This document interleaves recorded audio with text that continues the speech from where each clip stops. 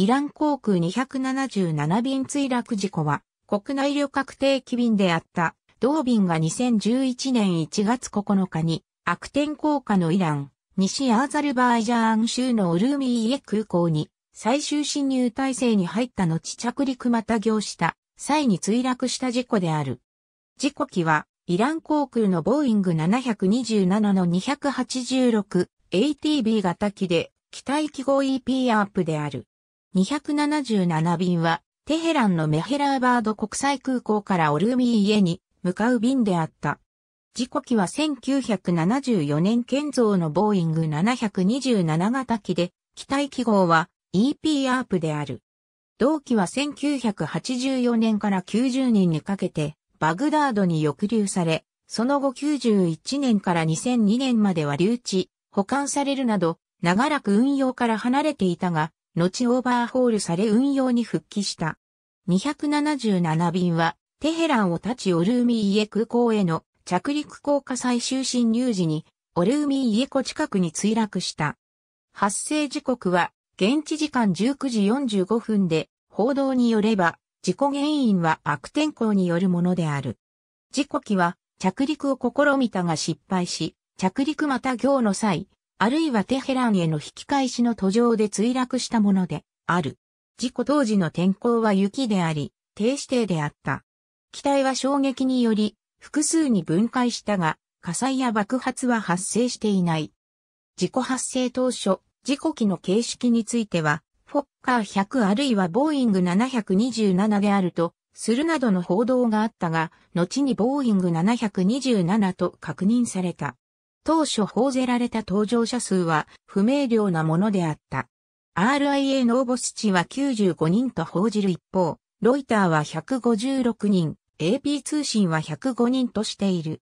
後に、総数105人、または106人、乗員10人ないし12人、乗客94人、または95人と推定されている。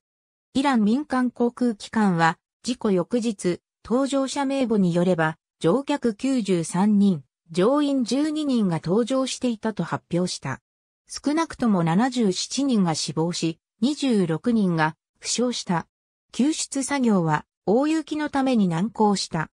地元当局者は救出作業にあたっての当面の問題は大雪である、と述べ、事故現場の積雪は70センチメートルに及ぶと発言している。事故への対応にあたっては36台の救急車と11の病院が使われた。イラン政府は事故調査を命令した。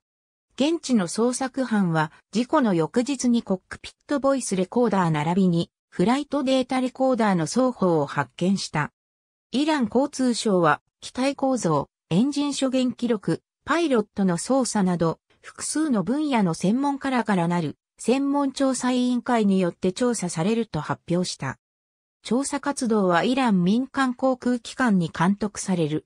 コックピットボイスレコーダーとフライトデータレコーダーは調査のためテヘランに送られた。2017年、カオ、イリは最終的な自己報告書を発行した。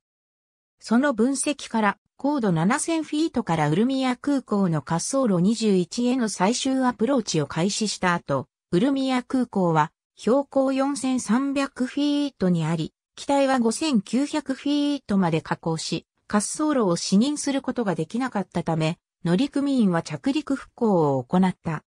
8800フィートに上昇して、再び侵入が開始された。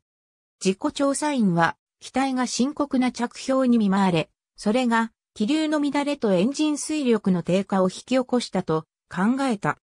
機体は降下を開始し、瞬間的にバンク角41度に達する旋回に入ったため、失速警報装置が作動した。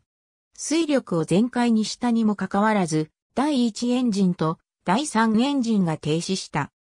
2000メートルまで降下すると、航空機関士が両方のエンジンが停止したと発言した。パイロットがエンジンを再始動しようと試みたが、失敗した。墜落の瞬間には、フラップが収縮され、待機速度が次第に低下しており、4400フィート、地形からわずか100フィート上空で、航空機は112ノットで、バンク角右21度で飛行していた。最後に記録された大気速度値は69ノットだった。自己報告書は主な原因を厳しい着氷状態と乗務員によるパイロットエラーであると結論付けた。旧式のオンボードシステム、悪天候に適したシミュレーターの欠如、標準的な操作手順に従わなかったこと、及び CRM の欠如が要因であると挙げられた。ありがとうございます。